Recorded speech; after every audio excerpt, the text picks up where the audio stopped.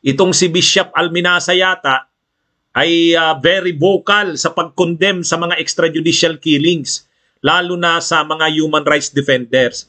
Kaya dahil uh, kinokondem niya ang mga pagpatay o karahasan, violence at ang mga inhustisyang nagaganap sa kanyang nasasakupan ng diocese niya. Itong obispo ng uh, Roman Catholic Church ay nire-red tag. Ah, sa sa segment o di umano sa programa nila Lorraine Badoy at uh, Jeffrey Celes, itong isang nagngangalang ka Eric sa programa sa SMNI noong February 22, ni-red tag nila ah, inaakusahan nila itong si Bishop Alminasa ng San Carlos City na may koneksyon kasabwat daw ng mga CPP, NPA, NDF. Bunyog, bunyog, halikan na kasama ka. Bunyog, kapag buklod ay may pag-asa. Ngayon naglabas itong si ano si Bishop Alminasa ng kanyang statement Hmm? Ito po ang laman ng kanyang statement. Basahin natin mga kabunyog. Oh. Ito yung statement ni uh, Bishop Alminasa. Ang pangalan niya para, pala, Gerardo. Oh, ito yung statement niya. 24 February 2023, press statement. Bishop admonishes SMNI, pursue integral and inclusive peace for the common good. Sabi niya, The demand to pursue peace is an echo of Jesus' command to love. As your pastor, I cannot be silent amid violence and injustice. We cannot continue the fake model of peace that is one-sided, using pseudo-development that is militarized and highly politicized. We want a peace that is integral and inclusive, benefiting the common good that uplifts the poor and, prom- and promotes authentic development. In the past, I have spoken of Tuto Patigas, Sara Alvarez, and Dr. Sansilan, among others, whose killings remain unsolved. They had dedicated their lives to the quest for a just and lasting peace.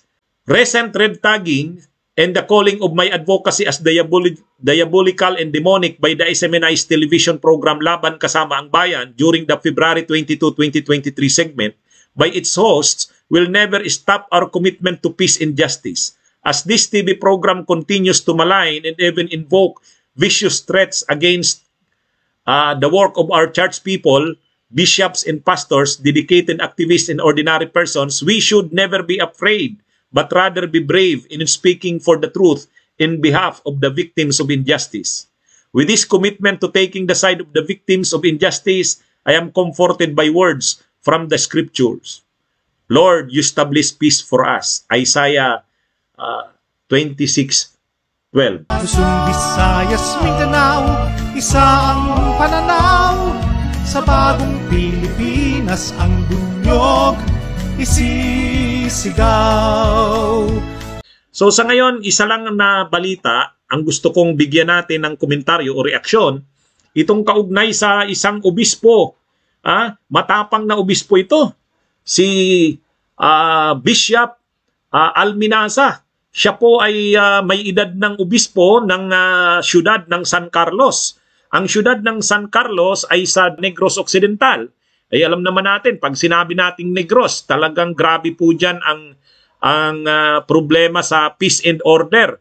Malaking challenge ito sa kanya kay Bishop Alminaza kasi marami na dyan ang mga AJKs, mga extrajudicial killings, pero hindi po kaugnay sa drugs mas kaugnay sa mga human rights defenders, sa mga aktivista na pinag ano na nababalitaan na lang natin na uh, pinapatay. Kaya ito po diyan ang nangyayari diyan sa Negros Occidental, maraming mga bayan diyan, lalo na sa Bacolod City, ano, uh, marami na diyan ang mga namamata pinapatay ng mga aktivista at mga human rights defenders. Bunyog, bunyog, bunyog.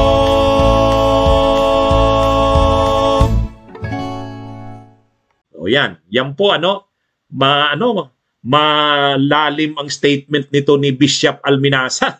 Ha? Ang sabi niya, ano? Ang sabi niya, we should never be afraid. Hindi tayo dapat matakot. Binanggit niya ang pangalan nitong uh, ni Tuto Patigas, Sara Alvarez at Dr. Sansilan. Uh, mga ano ito eh, mga human rights defenders na pinatay doon sa Negros Occidental. Kaya nababanggit ni sabi ni Bishop Alminaza, uh, mukhang naglabas ng mga statement itong si Bishop Alminaza na kinokondina niya yung mga pagpatay na yan, yung mga AGKs. Doon siya ngayon minarkahan ng mga nila Eric uh, nila Jeffrey Celes at nila Lorraine Badoy ng SMNI sa kanilang programa na itong si Bishop Alminaza ay kasabwat daw ng mga uh, CPP, NPA, NDF. Pero yun na nga. Oh, ang balita ngayon sa ano, ang sabi dito, Red Tag Bishop Alminaza, I cannot be silent and amidst the violence and injustices. So ano rin ano? Uh, ibang klase rin tong obispo na to. Uh, sabi niya, we should not be afraid. Huwag tayong matatakot. Bihira yung mga ganyang na obispo. Alam niyo mga kabunyog, may isang santo ang simbahang katoliko na ka-ordain, ka-ano pa lang, ka-canonize. Ibig sabihin ng canonization, ibig sabihin prinoklama pa lang na diniklara pa lang ng simbahan na formally santo na. Ano? Itong si Bishop Oscar Romero, ay si Bishop ba si Romero? Ng, si, si Oscar Romero, saint na po yan. Saint Oscar Romero, santo na po yan Nung panahon ng dik- nasa dictatorship din o diktadura ang El Salvador, magulo rin po noon ang El Salvador. Uh, noong panahon na nasa dictatorship ang El Salvador, sa siyudad yata ng San Salvador, ito si ano eh, si Saint Os- Oscar Romero. Nung panahon na yan, bishop yata yan si Oscar Romero doon sa Salva- San Salvador City. Ngayon, itong si Saint Oscar Romero, ay ano nag ano siya talagang kinukondina niya yung mga abuses, yung mga pagpatay, human rights violations ng milita ng military dictatorship sa sa ano sa El Salvador. Pinag-initan siya ng mga military doon. At habang nagmimisa siya sa loob ng simbahan, pinasok ng mga armadong tauhan ng gobyerno noon ng ng mga militar ang uh, simbahan niya at pinagbabaril siya sa panahon na siya ay nagmimisa. Actually, nakataas pa yung ano niya, yung ano consecration ba 'yon?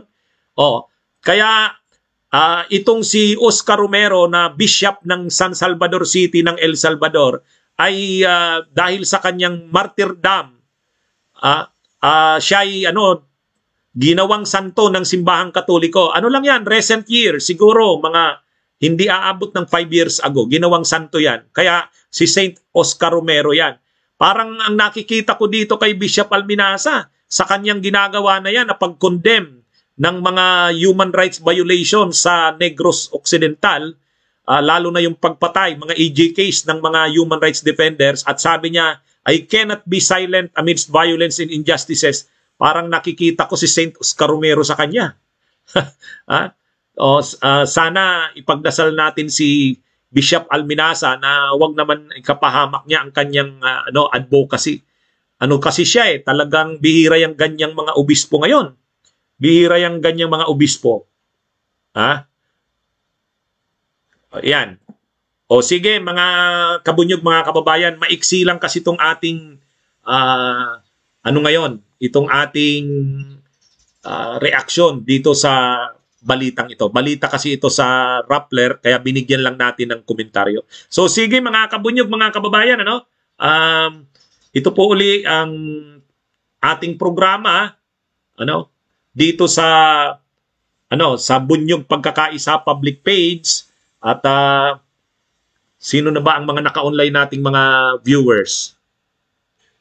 O, sabi ni Ramon Kindo, lentik niyan, basta pinupuna mo sila, sasabihan ka NPA. Oo nga eh. Dapat kasuhan ng mga yan, sila ang anay ng lipunan. Sabi ni John uh, Morados. Yan. Congrats to this bishop for being vocal in his concern for true justice and peace. Kasi nakita nyo doon sa statement niya, ano yun, Dr. San sila, ano? Pero pinatay pa rin, ano? Doktor na yan. Oh.